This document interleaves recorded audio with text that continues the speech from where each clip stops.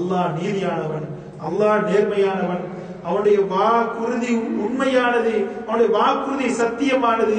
அவன் சொல்லும்போது அவன் கேட்பதெல்லாம் அவன் எங்களிடம் எதிர்பார்ப்பதெல்லாம் அவனுக்கு இணை வைக்காத வாழ்க்கை. அவனுடைய தூதர் சல்லல்லா செல்லம் அவர்கள் காட்டி தந்த வாழ்க்கை. இது மாதிரி நடந்துட்டு போங்க. உங்களை இப்படி எல்லாம் வாழ வைப்பேன். ஹயாத்தம் தையிபா உங்களுக்கு நிம்மதியான வாழ்க்கையை தருவேன். லயஸ்தக்லிஃபன்னஹும் ஃபில் அருள் அவர்களுக்கு உலகத்தில் அதிகாரத்தை கொடுப்பேன். வல யுமக்கினன்னஹும் தீனஹும் அல்லதி அவருடைய மார்க்கத்தை இந்த உலகத்தில் இடமாக்கி கொடுப்பேன்.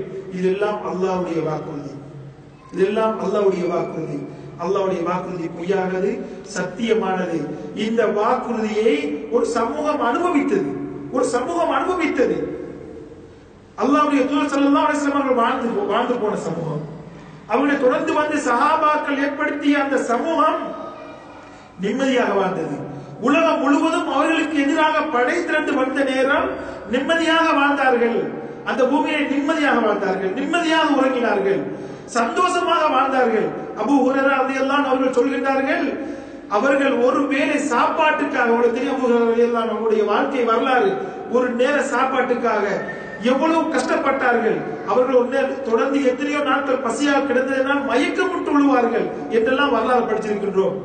ஆனால் பிற்பட்ட காலத்திலே ரோம ரோம பாரசீக மன்னனுடைய தலையில் அணுகின்ற அந்த கிரீடம் அவருடைய வீட்டு மூலையிலே கிடந்தது.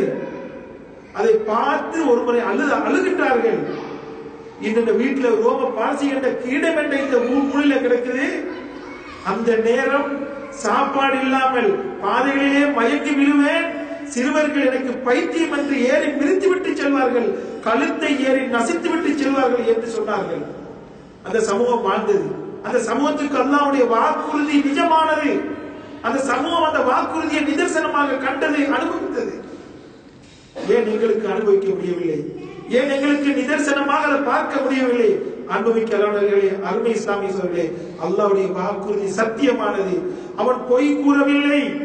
அவனுடைய வாக்கை சத்தியமானது வார்த்தை.